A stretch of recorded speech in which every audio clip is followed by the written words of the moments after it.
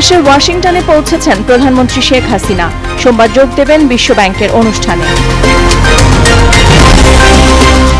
স্বাস্থ্য পরীক্ষা করাতে বিকেলে হাসপাতালে যাবেন খালেদা জিয়া বিদেশের চিকিৎসার দাবি ফখরুলের চারুকলার পরীক্ষার মধ্য দিয়ে শুরু হলো ঢাকা বিশ্ববিদ্যালয়ে ভর্তিযুদ্ধ মোট আবেদন প্রায় তিন লাখ। ইউক্রেন জুড়ে রুশ হামলায় পঁচিশ জন নিহত। তিউনেশিয়া উপকূলে অভিবাসন প্রত্যাশী আরও একচল্লিশ মরদেহ উদ্ধার। লা লিগায় রাতে আলাদা ম্যাচে খেলবে রিয়াল ও বার্সা। সিরিয়াতে তেত্রিশ বছরের খরা ঘুচাতে চায় নাপোলি।